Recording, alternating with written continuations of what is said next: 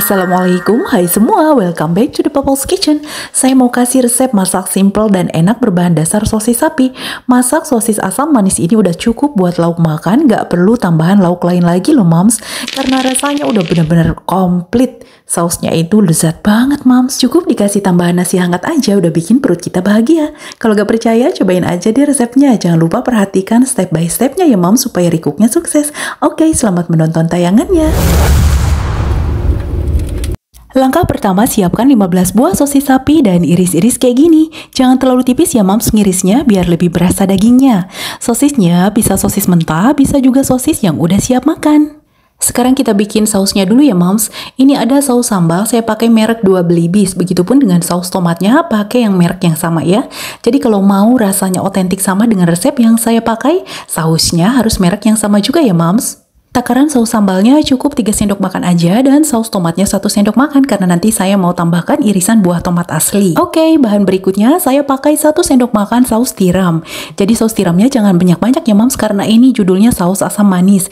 Jadi harus lebih menonjol rasa asam manisnya ya mams bukan rasa saus tiramnya. Selanjutnya saya pakai 1 sendok teh kecap Inggris. Ini sendok takarnya untuk setengah juga ya, jadi saya pakai dua kali ya.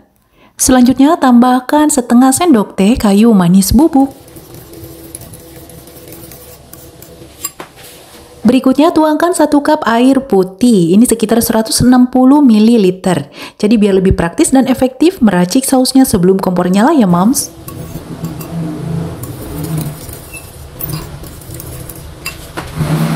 Selanjutnya tambahkan satu setengah sendok makan gula pasir karena ini saus asam manis jadi rasa manisnya harus benar-benar berasa ya moms.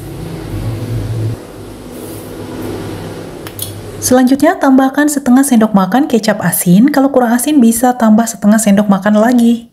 Nah, ini irisan tomat merah, saya pakai dua buah tomat ya moms, jadi cita rasa asamnya makin kuat dengan menambahkan dua buah tomat asli ini.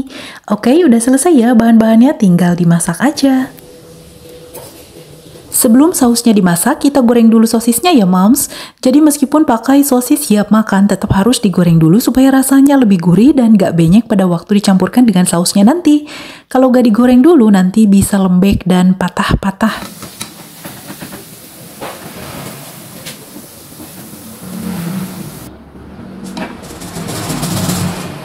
Saya juga menambahkan tempe untuk campuran masakan ini ya moms. Ini tempenya yang udah diremas-remas kayak gini, takarannya sekitar 3 irisan kalau kita bikin tempe goreng tepung. Jadi gak perlu banyak-banyak ya moms. Ini tempenya sama kayak sosis tadi, digoreng agak sedikit kering ya, tapi jangan terlalu kering. Langkah selanjutnya saya akan masak sausnya ya moms.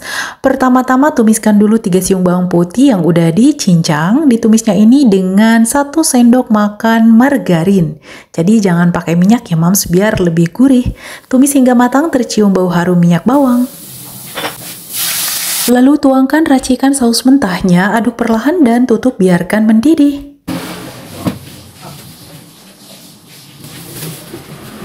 Nah ini udah mendidih ya moms, aduk sebentar biar gak mengerak bawahnya lalu tutup kembali. Biarkan hingga sausnya lebih mengental, tapi jangan terlalu kental juga ya, nanti hasil masakannya jadi kering. Cukup sampai kuah sausnya ini lebih menyusut aja.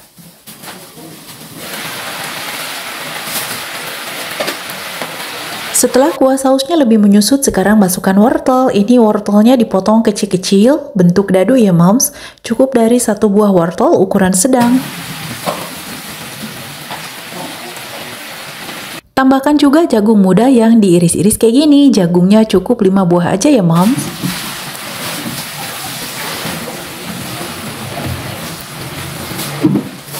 Untuk menambah khas cita rasa masakannya, saya juga menambahkan dua buah tahu putih. Tahu putihnya ini tawar ya, yang dipotong-potong dadu besar kayak gini. Jadi tahunya jangan digoreng ya moms, karena nanti rasanya jadi lain.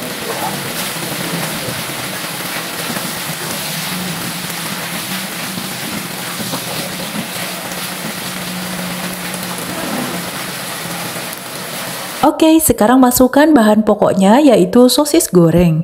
Ini sosisnya gurih banget jadi pas dipadukan dengan saus asam manis rasanya luar biasa nonjok, mams.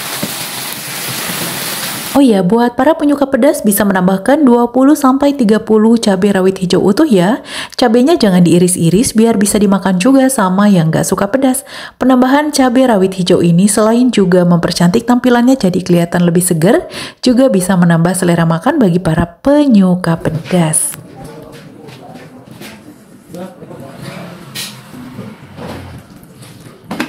Oke, udah matang nih moms masakan kita. Sosis gurih saus asam manis masakan enak teman nasi hangat kita hari ini.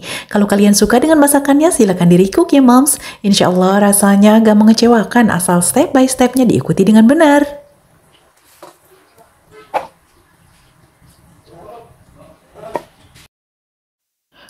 Wow, ngelihat tampilannya aja udah ngiler. Ini moist banget ya, sausnya gak kering, wanginya sedep banget, moms.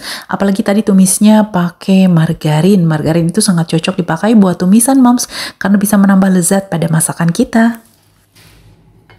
Oke deh moms, karena infonya udah sampai semua, sekarang saya pamit dulu ya. Semoga kalian suka, semoga bermanfaat juga buat semuanya. Terima kasih atas dukungan dari semuanya ya, khususnya para pecinta kuliner di mana pun berada yang selalu setia menanti update video-video terbaru dari The Papa's Kitchen.